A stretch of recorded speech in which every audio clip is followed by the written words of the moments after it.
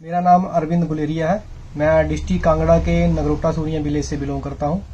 और मेरी जो पढ़ाई है, वो government school, senior secondary school Nagrota Suriya से हुई। फिर उसके बाद मैंने बी कॉम की from government college Nagrota Suriya और फिर मेरी एम कॉम जो है, वो गवर्नमेंट पीजी कॉलेज नगरोटा भगवा से हुई। और अभी रिसेंटली स्टैटिस्टिकल असिस्टेंट एग्ज़ाम्स जो कि हमीरपुर बोर्ड कंडक्ट करवाता है। उसमें मेरा पूरे हिमाचल में प्रथम स्थान रहा और इसके अलावा मैंने वर्ष 2021 में कुल पाँच परीक्षाएँ दी और पाँचों में मेरा रिटर्न एग्ज़ाम्स क्लियर हुआ। और इसके अलावा मैंने सेट भी क्वालिफाई किया है और अभी मैं कॉलेज कैडर कमीशन की तैयारी कर रहा हूँ।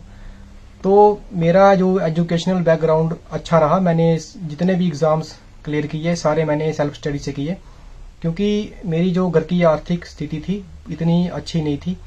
मैंने कभी कोई कोचिंग नहीं ली और मुझे किसी भी तरह की इतनी अच्छी गाइडेंस नहीं थी। तो अभी मेरा कॉलेज कैडर में जाने का इरादा है, उसके लिए मैंने सेट भी क्वालिफाई कर रखा है।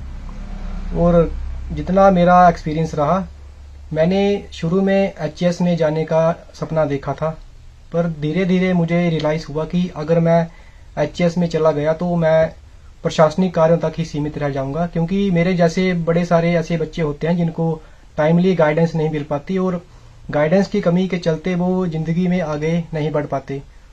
जिनके पास आर्थिक स्थिति अच्छी होती है, वो तो कहीं ना कहीं कोचिंग लेकर आगे बढ़ जाते हैं, लेकिन मेरे जैसे ऐसे होते हैं जिनके पास गाइडेंस नहीं होती, ना तो कोई कोचिंग का कोई साधन होता और बिना किसी गाइडेंस के वो पिछड़ जाते हैं। तो अभी मैंने एक चैनल बनाया है व्हाट्सएप ग्रुप पे। उसमें मैं पुलिस वालों को फ्री में कोचिंग दे रहा हूँ, जो जो भी आर्थिक स्थिति जिनकी कमज़ोर है उनको मैं फ्री में कोचिंग दे रहा हूँ और अभी staff selection commission Hamirpur board जो एग्ज़ाम्स करवाता है, उसके लिए भी मैंने एक चैनल बनाया है जिसमें मैं सभी को फ्री में कोचिंग देता हूँ। तो फ्री में कोचिंग देने का मेरा मेन पर्पस यही है कि अगर किसी की आर्थिक स्थिति अच्छी नहीं है या फिर उनके पास किसी तरह की गाइडेंस नहीं है और उनको लगता है कि कोचिंग से ही एग्ज़ाम्स क्लियर होते हैं, ऐसा बिल्कुल नहीं है। मैंने छह महीने के अंदर मैंने पाँच एग्ज़ाम्स क्लियर कर दिए।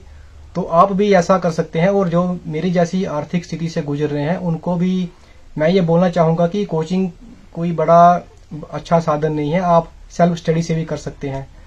और मेरे कॉलेज कैडर में जाने का मेन पर्पस यही है कि जहाँ, वहाँ पर जाकर मैं जो भी मेरे जैसे बैकग्राउंड के स्टूडेंट्स हैं, उनको मैं मोटिवेट कर सकूँ, उनको अच्छी गाइडेंस दे सकूँ कि क्योंकि मैंने कई तरह के एग्ज़ाम्स क्लियर किए हैं तो उसका जो एक्सपीरियंस है वो मैं आगे यूटिलाइज कर सकता हूँ।